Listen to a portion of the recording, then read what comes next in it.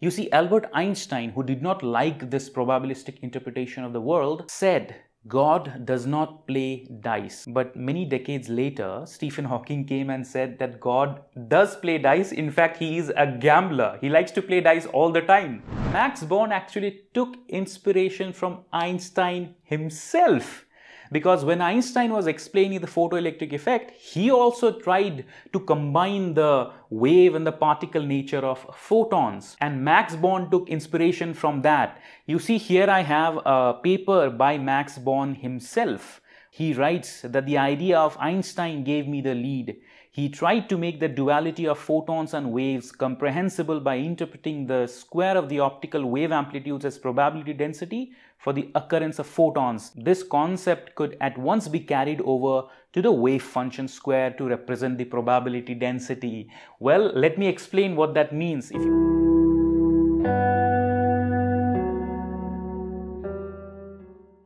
A quick announcement for my students who are preparing for CSIR NET Physical Sciences or GATE Physics. We at Elevate Classes organize live classes for these examinations every six months. The next batch is starting January. So this is a full-fledged live batch with live interactive classes, recorded access, test series and everything that you need. It's a complete package. So if you are interested, you can check out further details at elevateclasses.in. You can avail the early bird discount coupon which is available for the first 50 students. And if you're not really very sure about these online classes, then the first week of lectures are free to attend upon registration. So elevate your physics preparation with Elevate classes. Hello everyone, welcome back. I am Divyajyoti Das and this is a Schrodinger's equation, the most fundamental equation in quantum mechanical theory. However, there is a slight problem in the equation. You see this iota term here? This iota is the imaginary number, root over minus 1. So essentially, if I try to solve the Schrodinger's equation, which is a second order partial differential equation, then the solution of the Schrodinger's equation, which is essentially psi, I call this psi, which is a function of x and t, is a complex function. So the solution of the Schrodinger's equation is a complex function. So this is where naturally a question arises that what is this complex function? You See, we call this function as the wave function. You know, the solution of the Schrodinger's equation is called wave function. Now, if you have followed my previous lecture on how we can actually come up with the Schrodinger's equation from various arguments, then you must have uh, understood that the Schrodinger's equation is essentially a wave equation. And the solution of that wave equation is this wave function that governs the behavior of the matter waves of microscopic particles. You see, we know that microscopic particles have this wave particle dual nature. And to represent the matter wave behavior, we have this wave function solution. So the question is, what is the wave? That we are talking about. You see, when we talk about classical mechanics, when we talk about classical waves, for example, the waves on a string, then we are essentially talking about the displacement of the atoms on the string from its equilibrium position. It's an actual physical quantity. When we talk about sound waves, we are talking about the pressure differences propagating through the atmosphere. It's an actual physical quantity. When we talk about light waves as electromagnetic oscillations, we are talking about electric and magnetic fields propagating through space. We can actually measure electric and magnetic fields. So when we are talking about quantum particles and their wave equation and their wave solution, what is this wave actually? What is the physical quantity that we are talking about here? You see, the answer to that is not really that simple. And I know that many of the students, especially who are studying quantum mechanics for the first time, will probably spend a lot of time trying to imagine what this function actually is in terms of physical reality. But let me come straight to the point and give you the answer that this wave function does not represent anything physical. So in a way, the wave function being a complex function is actually a good thing because it straight away gets rid of the idea that this is anything physical in any way. Now, if you remember, when we tried to come up with the Schrodinger's equation in my previous lecture using plausibility arguments, I used a wave equation for a free particle or I used a wave solution for a free particle and for a free particle I use this particular expression.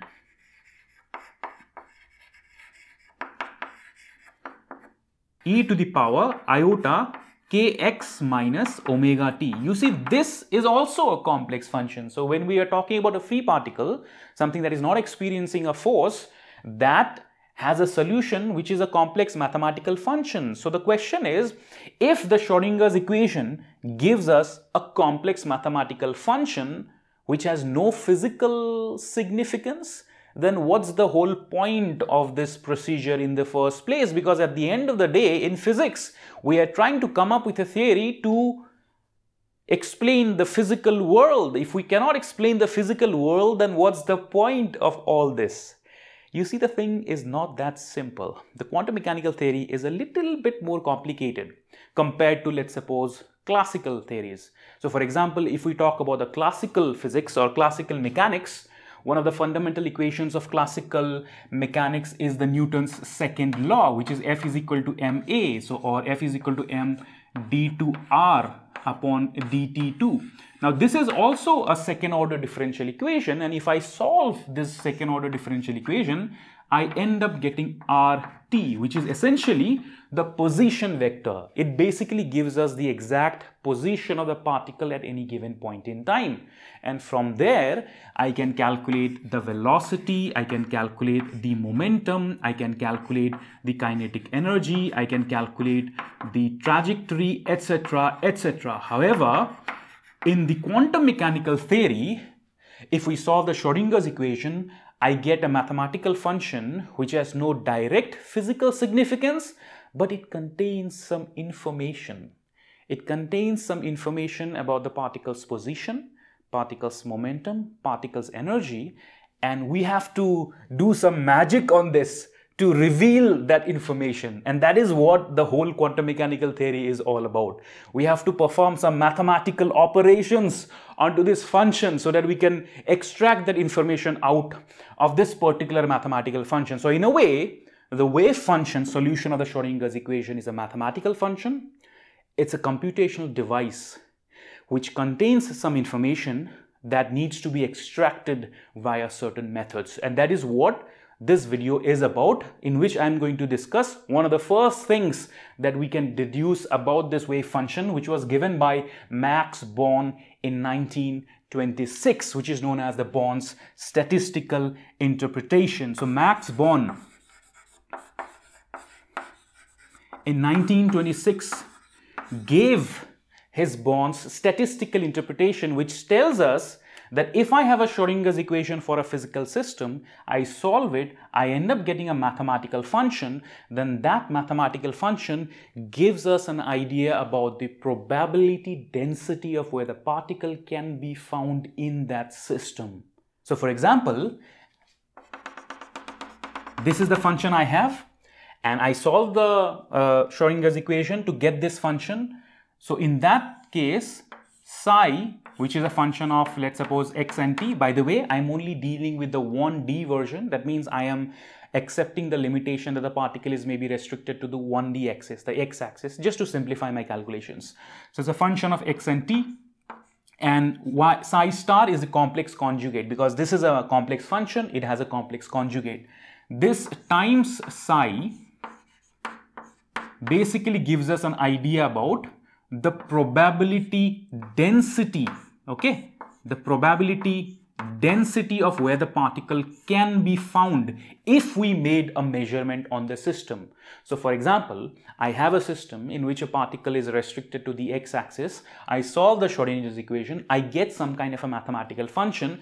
I take its mod square and I plot it in a graph. Let's suppose this is my graph. All right. So if this is my graph and I'm just going to give you some sort of a random uh, distribution, okay? Something like this. I'm just taking a, a random guess where in the y-axis you have the mod square of this wave function solution. In the x-axis you have x. So the Born's statistical interpretation simply says that if at a given point in time I make a measurement then the probability that the particle can be found, let's suppose between two locations, x is equal to a and x is equal to b is given by the probability density which is psi star psi dx integrated between x is equal to a and x is equal to b. So the Max Born's statistical interpretation gives us a tool to find out the probability of the particle being found in a given region when we solve the Schrodinger's equation. Now this is in sharp contrast with classical mechanics. You see in classical mechanics, when we have an equation, we solve it, we actually get a physical quantity. We get the trajectory. We can predict, if we know all the forces involved and all the initial conditions, we can actually theoretically predict the accurate trajectory of the particle for all of time. However, in quantum mechanics, even if we know everything that is to know about the system, all it can tell us is a probability density of where the particle can be found. It cannot even exactly predict the most basic thing, which is the exact position of a particle at a future point in time. The only thing quantum mechanics offers us is an idea of its probability distribution. And this, at the very beginning of our quantum mechanical theory, introduces a fundamental difference in the way classical mechanics and quantum mechanics operate. So, classical mechanics essentially is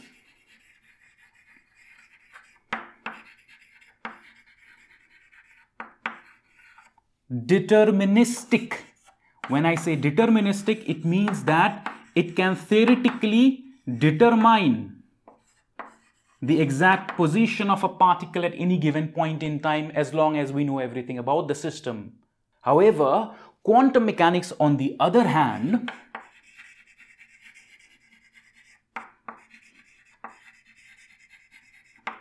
is indeterministic and by indeterministic I mean probabilistic.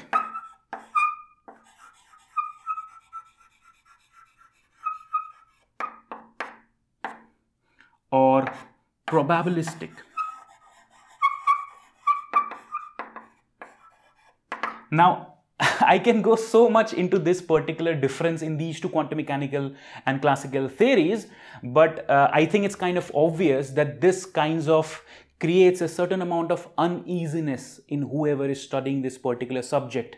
This indeterminacy is deeply disturbing to many scientists, many philosophers, and has been in the last hundred years uh, because it asks you a question is this how nature really works at its most fundamental level, or is the quantum mechanical theory incomplete in some sense?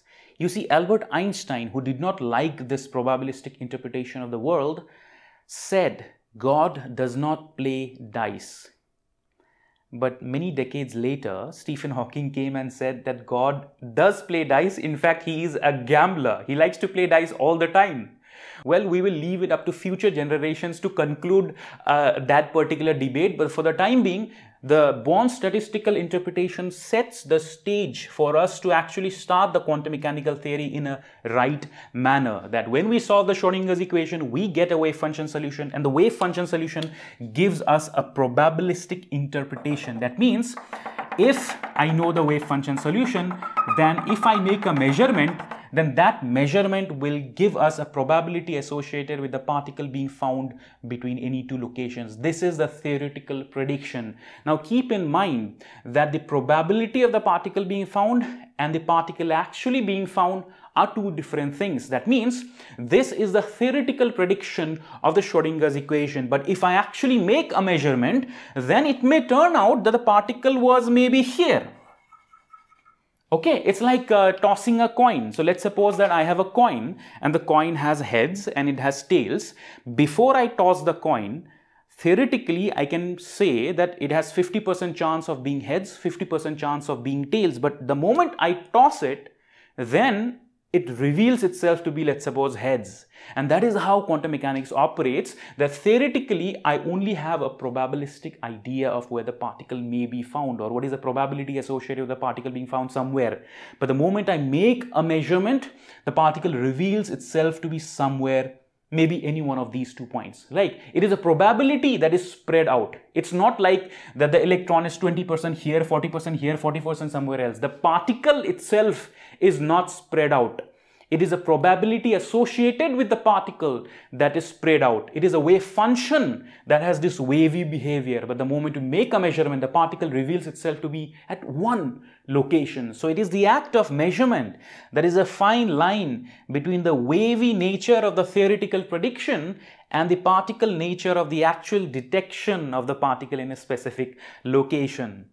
Now you might ask a question that what is it that inspired Max Born to give this kind of a probabilistic interpretation of the solution of the Schrodinger's equation?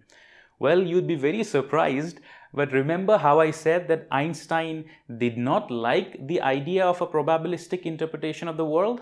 Max Born actually took inspiration from Einstein himself because when Einstein was explaining the photoelectric effect, he also tried to combine the wave and the particle nature of photons. And Max Born took inspiration from that. You see here I have a paper by Max Born himself. He writes that the idea of Einstein gave me the lead. He tried to make the duality of photons and waves comprehensible by interpreting the square of the optical wave amplitudes as probability density for the occurrence of photons. This concept could at once be carried over to the wave function square to represent the probability density. Well, let me explain what that means if you want to understand the inspiration behind Max Born. So let me rub this portion first.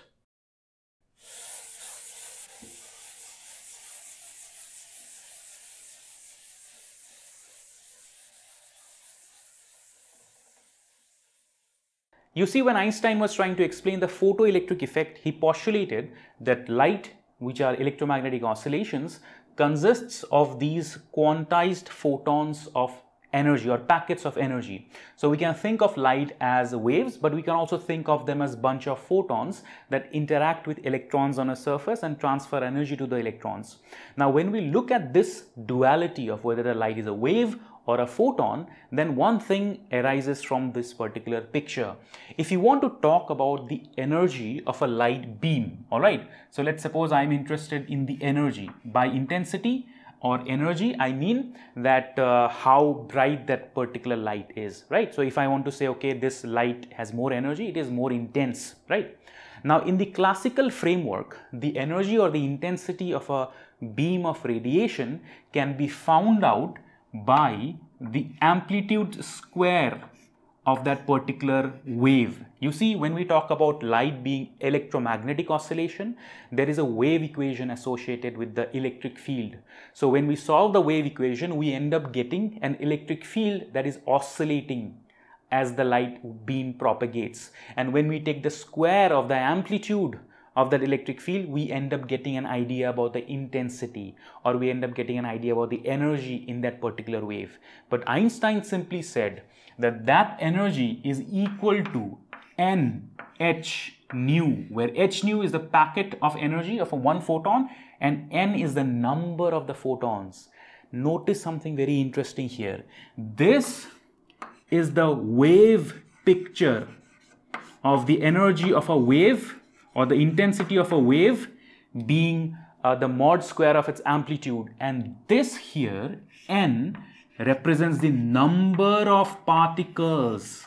Number of particles. So when einstein was trying to essentially resolve this problem of photoelectric effect he introduced this idea that the waviness or the amplitude of the wave has something to do with the number of photons, I should say photons here, number of photons. It means that if you have a very intense light, then the energy of that light will be greater, the amplitude mod square will be greater, and the number of photons will be greater. If you have a less intense light or low energetic light, the amplitude mod square will be less and the number of photons will be less. This correlation between the amplitude mod square and the number of the photons gave Max Born the idea for a similar conclusion here that the solution of the Schrodinger's equation which gives us the mathematical wave function its mod square has something to do with how many number of electrons or particles can be found in that region which has to do with the probability density if we perform an experiment with a large number of particles or repeated experiments with the same particle. So this is the origin of the idea of a probabilistic interpretation. You see the person Albert Einstein, who does not like the idea of a probabilistic interpretation, was actually the source of the probabilistic interpretation as claimed by Max Born himself, which is kind of uh, interesting, you know, how things go about. Now, if you have stuck with me till this point in time, let me give you something more interesting. All right, this idea of the probabilistic interpretation of the wave function can also be used to explain the bizarre behavior of the double slit interference experiment. Remember the double slit interference experiment where electrons would create an interference profile? We can explain that using this concept here, okay? So if you have a bunch of electrons which are incident on, let's suppose, two slits, all right? Bunch of electrons incident on two slits. Let's say one slit is S1, the other slit is S2. And I want to look at the pattern that I get on the other side. Okay, let's suppose I have one pattern here, I have uh, one pattern here, and I have another pattern here. Now, if only S1 is open, if only S1 is open, I might get some sort of a distribution of electrons like this. All right and if only s2 is open i might get a distribution of electrons on the other side something like this. But what if both s1 and s2 are open then i get a very interesting result which may look something like this. An interference pattern these consecutive dark and bright fringes or distribution of the electron. And that is something that we can kind of correlate from this idea. Because when we have just one slit open then this intensity of the electrons on the other side is given by psi 1 mod square. So let's suppose I call it the probability P1 is given by psi 1 mod square which is basically equal to psi 1 star psi 1 right? When only s2 is open then we have the probability distribution is psi 2 mod square which is basically psi 2 star psi 2 but what if both s1 and s2 are open? In that situation when both s1 and s2 are open I get a probability which is not the sum of P1 plus P2. No, it is basically the mod square of psi 1 plus psi 2. So let's suppose psi 1 is the wave function solution for the Schrodinger's equation when electrons only pass through slit S1 and psi 2 is the wave function solution for the Schrodinger's equation when electrons only pass through S2. Now because psi 1 and psi 2 are essentially solutions of this particular system, then I can perform a superposition of these wave function solutions. That is a property of this kind of a differential equation. When I do that, this essentially gives me a very interesting solution that you have psi 1 star plus psi 2 star times psi 1 plus psi 2 and if we look at this particular term, let me write it here because there is uh, no space there. So this simply gives me psi, this simply gives me psi 1 star, psi 1 star plus psi 2 star, psi 2 star plus I have psi 1 star, psi 2 plus psi 2 star, psi 1. So essentially I have again I'm going in the left okay I'm going towards the left I end up getting psi 1 star uh, psi 1 sorry psi 1 star psi 1 which is essentially probability p1 psi 2 star psi 2 which is essentially probability P2 and then these two terms psi 1 star psi 2 plus psi 2 star psi 1. So essentially the probability when both the slits are open is not equal to just P1 and P2, but there is this additional term. It is this additional term that introduces the oscillations that we end up seeing here. All right, if we had the classical explanation, then this would not be possible. It is because we have this probabilistic interpretation of the wave function, then the wave functions can get added up that I actually end up getting the probability distribution for a double slit to contain these terms that will explain this kind of an interference profile. So having a probability density as the explanation for the uh, mod square of psi, which is a solution of the Schrodinger's equation, sets the stage for the right interpretation or the right framework of study for quantum mechanics, which was of course first provided by Max Born and therefore known as the Born statistical interpretation. So this is just the beginning. All right, what other information can we found, find out from this psi? And in fact, what is psi? There is a lot of information hidden in psi and that is going to be my focus in the coming lectures. So that is all for today. Right now, in the coming lectures, we're going to talk more about this particular wave function and what other information we can extract and what magic we can perform here. All right. I'm Divya Jyoti Das. This is for the love of physics. Thank you so much. Take care. Bye-bye.